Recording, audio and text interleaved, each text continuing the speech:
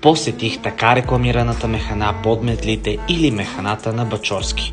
Намира се между Бояна и Драгалевци. Автентичният български интериор, заедно с вкусната храна, приготвена от македонския майстор, направиха вечерта ми доста приятна. Толкова интересно е направено менюто с интересни и забавни имена.